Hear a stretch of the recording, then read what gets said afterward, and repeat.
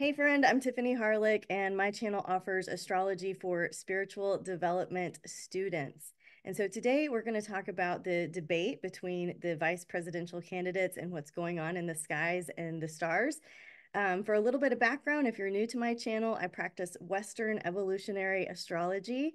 I have Jewish lineage and heritage in my family. I am Christian. I believe in one God that made heaven and earth and that has a plan for your life. And so astrology brings order to chaos. It, it, shows us the different seasons of life. This is just my take through my lens. There are many astrologers out there. I appreciate you coming to my channel for um, some insight. And so let's take a look. Let me go ahead and share my screen. And let's take a look at the charts. Perfect. So here we are. Welcome back. If you're uh, coming back, if you're new, please hit subscribe if you'd like more of this content. Uh, what we're going to talk about is Vance and the eclipse, Walz and the eclipse, the debate itself, and the election forecast. This is a short, hot take. So come up with your own conclusions, of course, but here's what I'm seeing. So here's JD Vance, his inner wheel. Here's his chart on the inner wheel and the eclipse on the outer wheel. Um, I am going to look at the forecast chart with us, uh, with you guys but for now, let's take a look at what's going on with the eclipse in his chart. So transiting Uranus, of course, has just crossed over Algol, which is the uh, beheading star, right? This is um, a star that indicates that off with their heads, that fierceness, um, that like no holds barred um, star, that energy.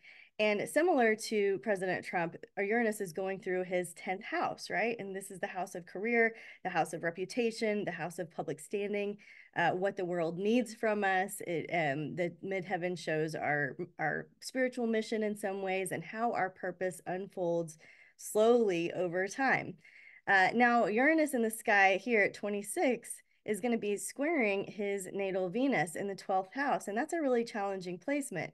The 12th house is the house of secrets. Uh, Venus indicates, you know, some of the things that we love the most in life, our love language, the things that we hold dear and near to our hearts, um, the things that we might not want out there in the public uh, eye. And so I wouldn't be surprised if there were some kind of secrets or surprises that get stirred up for him around this time. Um, I'm looking at the eclipse because it's so close to the debate, but also just know that your eclipse moment can happen up to 90 days before the actual eclipse date. So if you want some training on eclipses, I would love to help you and support you with that and check out some of my other videos. But yeah, that's the first kind of thing that really stands out to me. And because Uranus is right here, it's in a square position or it's nearing a square position to his first house, his ascendant, right?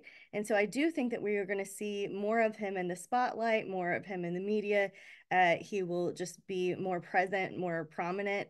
Um, and I think that that can play out in a lot of different ways. So we look at transiting Saturn going through his seventh house, the house of open enemies. Um, Saturn in Pisces, you know, Pisces is a water sign. Um, it is more ethereal. It is softer. Um, I don't, I feel like he will not perceive his opponents as a threat. That's how I'll say that. Okay. And this activates, this Saturn right here in Pisces activates the uh, a water grand trine. So we're looking at Saturn in 14 Pisces, uh, Mars in 15 Cancer, and then Venus in 11 Scorpio right? And so we're talking about, yes, this house of open enemies, and will he perceive his enemy or opponent as a threat? Probably not. Um, and then we've got Venus, well, let me not skip ahead. Yeah, okay, that's where I went next. Venus in Scorpio conjunct his natal Saturn in his third house of communication and effective communication. And so Venus in Scorpio is very calculated. And there's no mistakes with what he's saying. So um, I feel like there will be absolutely calculated messaging that will put him um, in a place of authority. I think he's going to be feeling his uh, strength here with Venus and Saturn in his third house in Scorpio, right? Very calculated, very determined, very fixed, eye on the prize, not easily swayed, not easily provoked.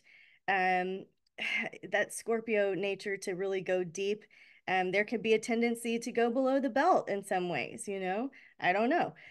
So I, I also wanted to point out that Vance has his natal uh, Mercury over here in the first house in seven degrees of Virgo. Okay, Virgo is an earth sign. Um, it is practical. It is honest. It is data driven, right?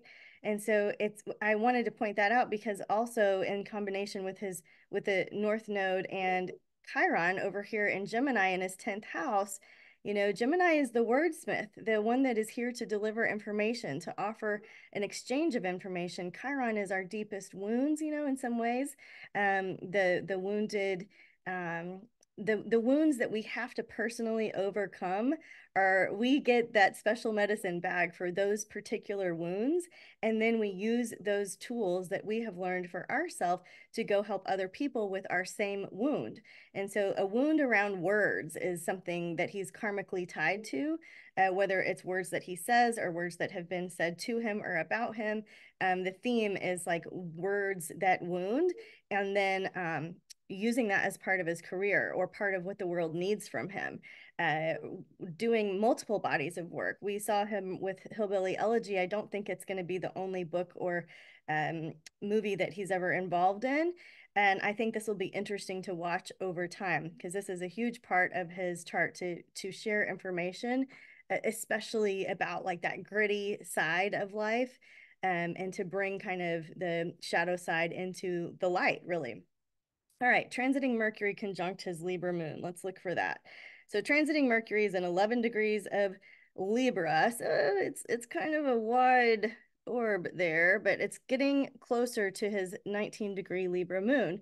And towards that end, Mercury and um, Mercury and the moon working together, there's flow, there's the ease of communication, there's reliability, there's fairness, there's justice, there's looking at things from both sides. Um, there's the ability to see things from a dry point of view without the heat, without the emotion. Uh, Mercury, I mean, Libra is the only sign in the zodiac that's neither um, man, I was going to say plant, neither man nor animal. So Libra is the scales. It's the scales of justice. There can be a dryness and a detached uh, effort to mediate or see both sides of things. Um, yeah, less danger, big reactions, and reason prevails. So I also see transiting Venus right next to his Saturn here, 11 degrees of Scorpio, 10 degrees of Scorpio. Um, we were talking about that earlier with the trine, uh, the grand trine. Um, I think that this combined with Saturn trining his natal Saturn is going to show he's going to show up at, as somebody that's very committed, that has a, a hard work ethic, that is willing to stay the course. I think that is going to shine through um, during the debate here.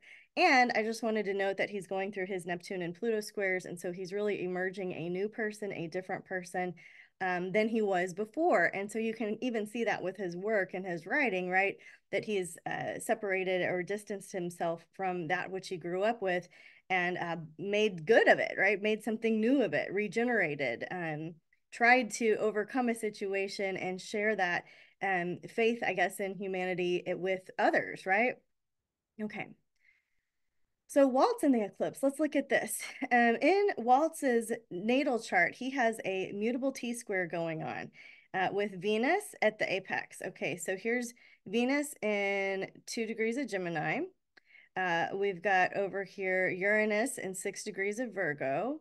And then we've got Saturn in one degree of Pisces.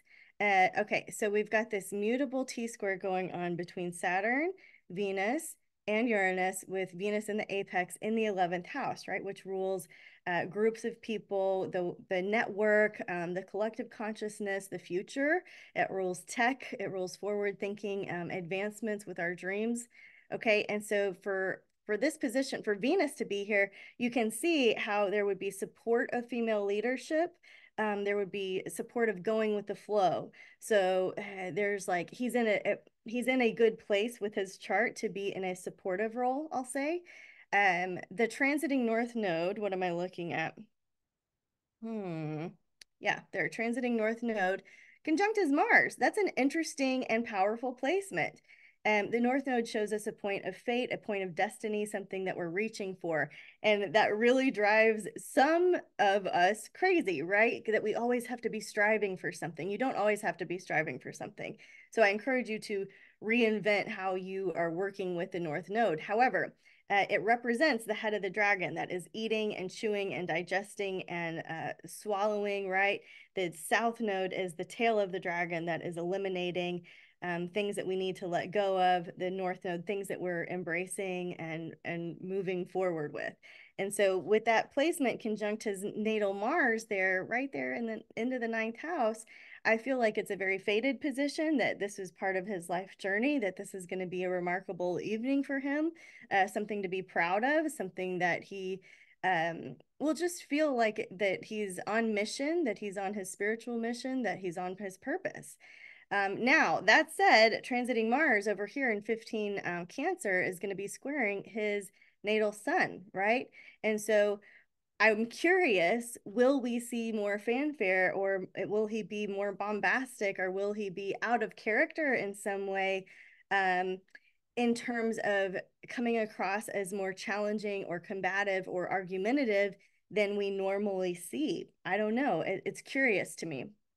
Transiting Saturn is conjunct as Chiron. So Saturn shows us a place of uh, authority and leadership and career and what we need to be disciplined with. Um, and it's it's really close to his natal Chiron there in Pisces. And so, will there be a group of people who feel severely wounded, who feel victimized, who feel martyred? Will there be a group of people who will look to him for leadership here in in the department in which they feel their wounds are being addressed? Will he speak to those um, wounds so specifically that it will uh, cause a wave of emotion? Right. All right uh, and I also am just curious with all this this uh, this action over here. Will there be some kind of announcement going on? Now, I said publishing. We have to scrap that because we don't have his time. We don't have his birth time. Um, there have been some people that have tried to rectify his chart. I don't know how you could do that without interviewing him in depth. And so this is the 12 o'clock, you know, time period is what everybody is using. That's what I was using. And so ignore this part about publishing because we can't look at the houses in this situation. Um, yeah, so the transiting Pluto, again, I that's an error. I apologize. We don't know where it is because we don't have his exact time of birth. And I, I was making my notes quickly before coffee.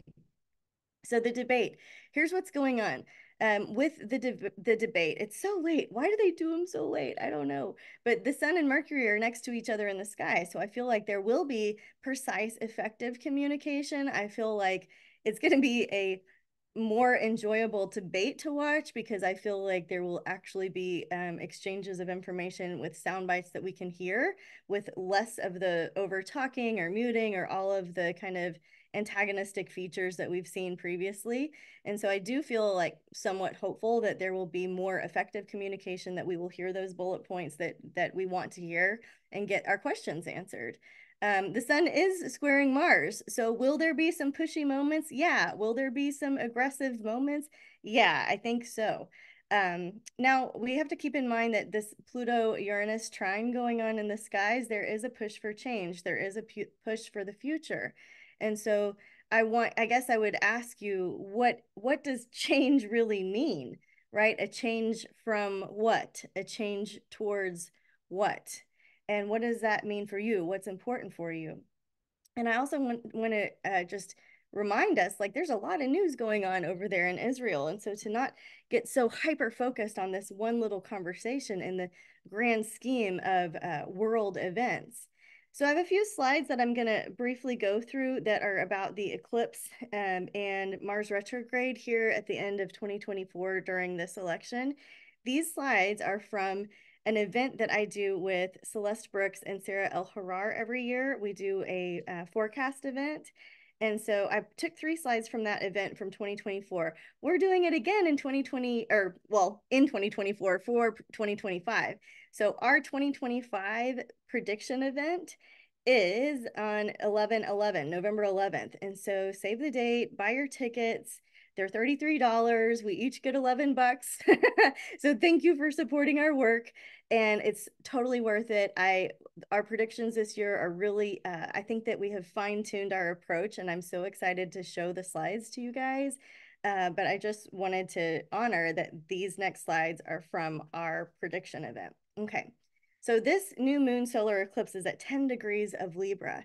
Um, one thing that I really want to point out is that this eclipse is, is conjunct right next to fixed star diadem, which means braid, and black moon Lilith. So this is very taboo. This is weaving something taboo into the um, chemistry of this eclipse.